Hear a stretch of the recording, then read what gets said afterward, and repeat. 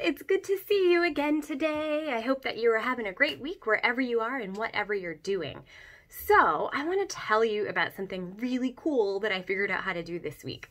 So, you might have seen this on YouTube or maybe you've done it in school or something, but I just figured out how to do something really neat. I can take a piece of paper, like a small piece of paper, like a square, like that big, and I can make it fit over my head pretty cool, right? It's pretty neat how you do it. It's simple. All you do is like fold the paper in half and then you cut some lines and then you open it up and then you just put it on your head.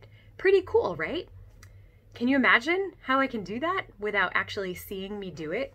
Would it be easier if I showed you exactly how to do it? So I could demonstrate that. Would you like me to do that? Okay, so here's my piece of paper that I can fit right over my head. See how it works? No? Maybe it's easier if I show you how to put the lines on the paper. Does that help? So it's a paper folded in half, and then you draw some lines, and then you cut them. And it fits right over your head. Simple, right?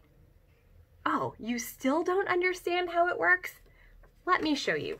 So as I'm cutting these lines on this little piece of paper, we're going to talk for a minute about what it means to use our actions versus our, just our words. So we often talk about like all the things that we can do, all the things that we're good at. Um, we talk about things that are important to us, right? But sometimes we talk about things and we say things even if we don't actually do them. So, kind of like keeping your word or keeping your promises. Can you imagine if your mom or your dad or your grandparents asked you to like help them do something and you said, Yeah, sure, I'll do that and then you didn't actually do it, that's kind of what Jesus is talking about. All right, so let me show you. So I have these cuts in the paper. It looks kind of like that. And you can find instructions to do this on YouTube if you would like. Um, so yeah, imagine if, let's see, let's pretend that you have a mom who came in and asked you if you could help her do the dishes or help her do the laundry. And you said, yeah, sure, I'll be right there. And then your brother or your sister was also asked to help, but your brother or your sister said, No, I don't want to help you. Who do you think is right? We often would say that, that the kid who said, Yeah, I'll help, is the person who's right. But then, guess what happens? So if you're the one who said, Yeah, sure, I'll help you in a minute, and you never actually helped, did you do the right thing?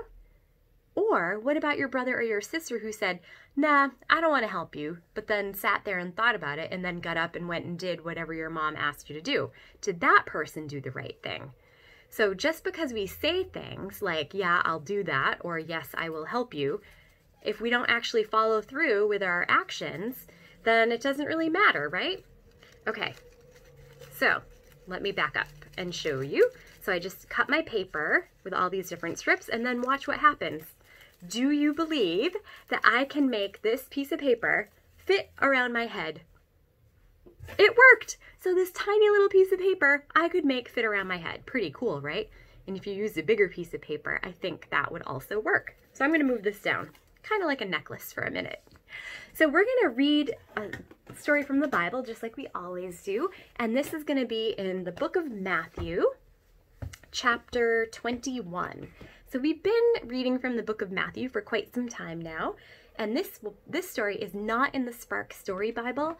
If you happen to have a Whirl Story Bible at home, you can find this on page 242. Otherwise, you can just get any old Bible that you have at home, and you can open up to Matthew chapter 21, and we're going to be on verse 23. So Matthew chapter 1, verse 23. The chief priests pushed through the crowd of people in the temple. They had some questions for Jesus. Who said that you could teach about God? They asked Jesus. Who gave you the authority to heal people? And why do you have the power to create miracles? Jesus stopped teaching and replied, Before I answer, I have a question for all of you. And Jesus was really good at this. Jesus always asked questions when he was asked a question. Jesus asked them, who gave John the Baptist the authority to baptize people? The leaders began to argue with each other. Was the right answer God or the people or something else? They answered Jesus, We don't know. Jesus frowned at the leaders who could not agree. Instead of answering the chief priest's questions, Jesus told them a parable. Here's the parable A father asked his older son to pick grapes in the vineyard. No, father, I don't want to do that, the son complained. But later, he changed his mind and picked grapes for his father. Then the father went to the younger son. Will you please pick grapes today? Yes, father, I'll pick the grapes. But the younger son did not actually go and pick one grape. Jesus challenged the chief priests with this story. God hears our words and wants to see our actions. Words and actions go together. If you say you love God, show it in what you do. Wow. This is kind of like what we were talking about, like our actions and words. But you want to know what's interesting in this story? So there was a son, uh, a father who asked his two sons to go pick grapes in the vineyard. And one son said, No, I don't want to do that. The other son said, Yeah, I'll do that. And never actually went to pick the grapes. But the son who said no and then went to pick them, we often would think that that son made the right choice, right? But what Jesus doesn't say is who was right. Everybody thought that the one who picked the grapes was the one who was right, but Jesus just kind of didn't answer that. And Jesus says that your actions need to match your words. So when our parents ask us to do things and we say yes, but then we don't actually do them, our actions are not matching our words. And if we say no, but then we end up doing something, our words aren't matching our actions. So it's really important that we think about the things that we do and the things that we say and make sure that they match up, right? So we often think that like we make good decisions all the time and sometimes we don't, but that's okay. We're none of us are perfect, but we can always do a little bit better, I think. There is someone though who doesn't have to do better because this person is always always doing the right thing this person's words and actions always match up. Do you know who that is? Mm, it's definitely not me. And it's definitely not your you. It's definitely not your parents. So that person is Jesus. Jesus always does and says the right things. And Jesus is kind of perfect because Jesus is God's son, right? So Jesus' promises are always true. What Jesus says, Jesus will do. And the same with God. God makes all these promises and tells us that God will never leave us, and that is absolutely true.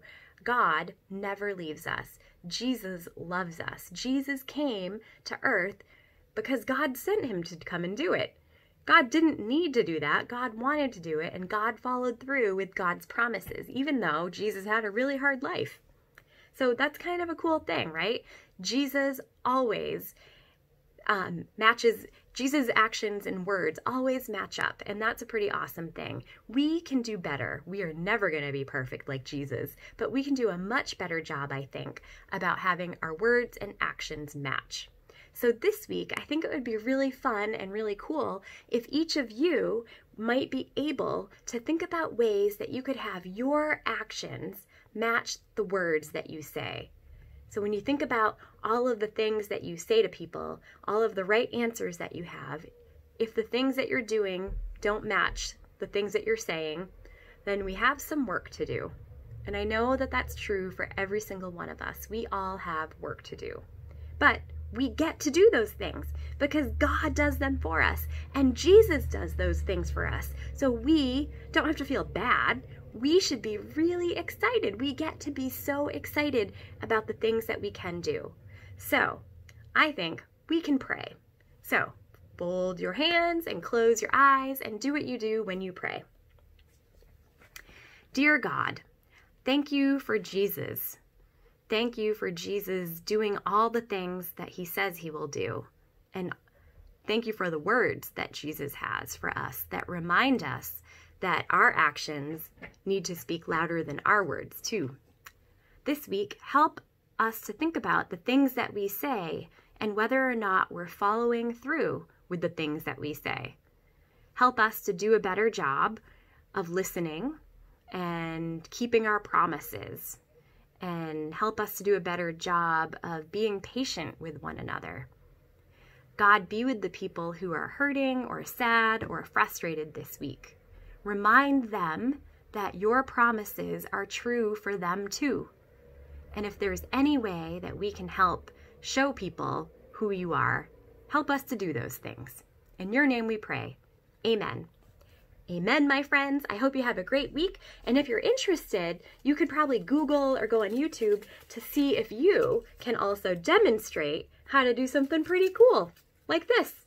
And maybe you could use a bigger piece of paper too. I bet if you're really creative, you could figure out how to get your whole body through a regular sized piece of paper, not just your head, your whole body. So if you can do that, let me know. I would love to see some pictures of that. So until we meet again, have a great rest of your week. Be well, be safe, and continue to love your neighbors. Goodbye.